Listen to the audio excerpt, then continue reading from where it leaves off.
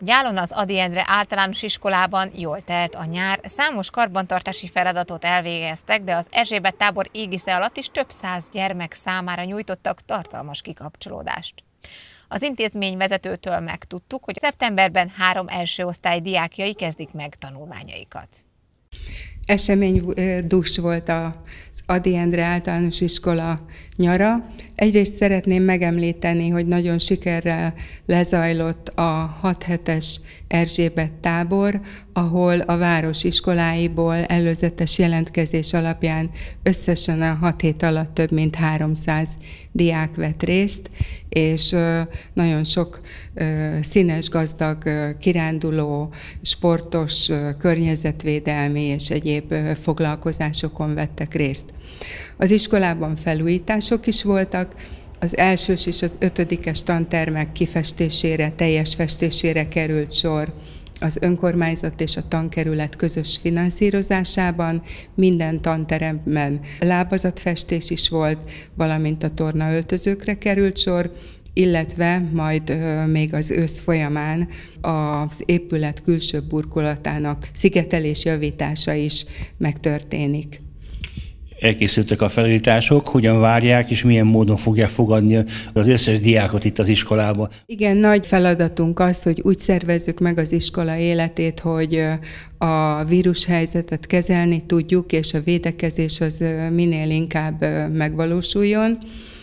A tantermekbe, a közös helyiségekbe, a bejáratoknál mindenütt lesz elhelyezve készfertőtlenítő folyadék, tehát készfertőtlenítési lehetőség, illetve az eszközöknél, bútorfelületeknél óránkénti fertőtlenítés valósul meg.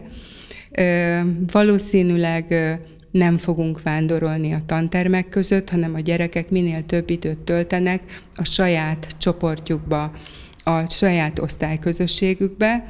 Sok időt leszünk kint az udvaron, hogy szabad levegőn is legyünk. A testnevelés órák az őszi időszakban szintén szabad téren valósulnak meg és az ebédelésnél is különös higiéniai szabályok érvényesülnek.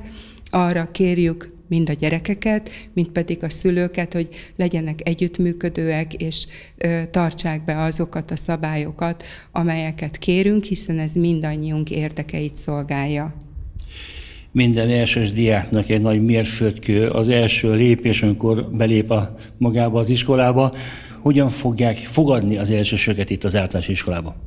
Úgy tervezzük, hogy augusztus 31-én, hétfőn, este 6 órakor tartunk egy évnyitó, rövid évnyitó ünnepséget, amely az udvaron valósul meg, tehát a távolságtartás és a szabadtér kihasználásával, és mivel ö, nagy létszámú az iskola, ezért azt kérjük, hogy csak az elsősök ö, szülei jöjjenek, illetve hát családonként egy szülő, a többiek most kivételesen ne. Néztem az időjárás jelentést, hogy, hogy rossz időt mond, hogyha nem tudjuk megvalósítani a szabadtéri évnyitót, akkor ez másnap reggel lesz, de erről a szülőknek időben fogunk írásbeli tájékoztatást küldeni az osztályfőnökök segítségével.